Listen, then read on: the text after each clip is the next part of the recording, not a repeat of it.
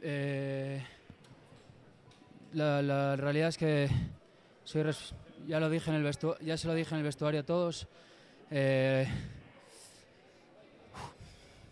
soy el responsable número uno de la eliminación, un error, eh, no sé, no sé por qué, no sé, nunca en la vida, es la primera vez que me expulsan, nunca en la vida había hecho una entrada así, no sé, no, no, no entiendo, por más que le dé vueltas, no sé por qué se dio y lo que digo, ni siquiera me atreví a mirar a los compañeros a la cara porque siento que la eliminación es toda mía, eh, toda, ni del Tano, ni el Presi, ni de ninguno de mis compañeros, teníamos uno a uno, el partido controlado, eh, lo acariciamos y, es, toda mía, toda, toda, toda mía, eh, por más que me lo quieran quitar la cabeza mis compañeros, no sé cómo lo voy a hacer, así que eh, nada, llegué hace dos años aquí, el club me cambió la vida desde, desde que llegué.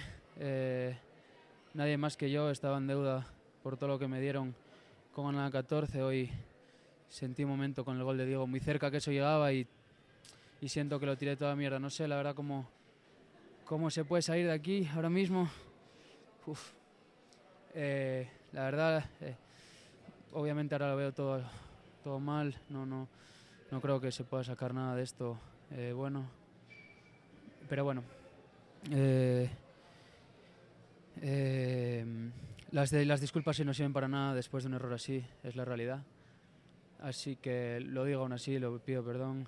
eh, el ímpetu, eh, las ganas con las que estaba jugando en ese momento, todo, no sé.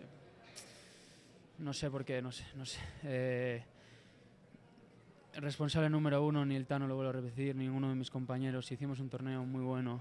El otro día en Guadalajara hicieron un partidazo. Habíamos empatado y lo tiré todo por tierra. Lo siento.